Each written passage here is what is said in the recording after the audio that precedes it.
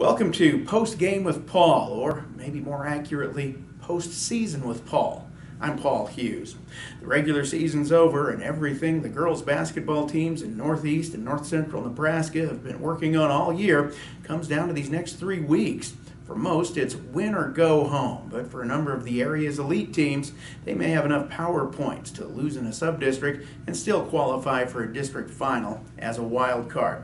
Starting with Class C1, West Point Beemer is 21 and 1 and a heavy favorite to win the C16 subdistrict at Oakland Craig.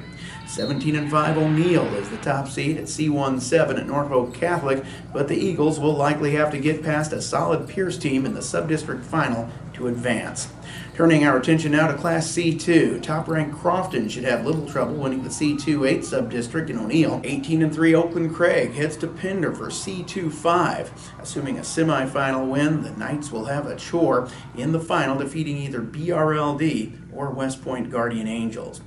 Arguably the most competitive of all of the area sub-districts is right here in Norfolk, at Norfolk High, where top seed Clarkson Leigh will likely have to get past a Norfolk Catholic team that's better than its 10 and 11 record indicates than either Stanton or Battle Creek in the finals.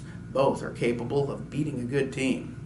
C27 at Wayne High looks interesting. Ponca is 21 and 2. Assuming a semifinal win, the Indians would be matched up with either Homer or Hartington Cedar Catholic, both good teams in Thursday's final. Moving to Class D1, top ranked Humphrey Lindsay Holy Family shouldn't have a lot of trouble winning its subdistrict in Shelby.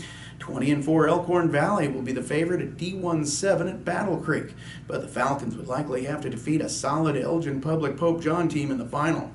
North Central begins defense of its state championship in the D1-8 subdistrict at Creighton. It won't be easy. With a semifinal win, the Knights would have to square off with either 13 and 9 Boyd County or 15 and 7 Hartington Newcastle in the final. Finally, to Class D2, where Humphrey St. Francis has the ingredients to make a run for a state championship. Flyers should breeze through the D2 3 subdistrict at Boone Central, where none of the other teams has more than five wins. Likewise, Wynot? Probably won't have to work up much of a sweat in D2 4 at Hartington Cedar Catholic, where the number two seed, Emerson Hubbard, has only seven wins.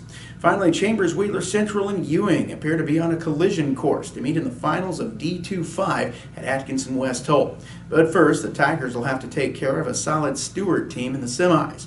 All the sub-district semifinals are on Tuesday, with the finals on Thursday. The winners and wild cards will be assigned to play in district championship games, which will take place late next week, and we'll preview them right here at this time next week on Post Game with Paul.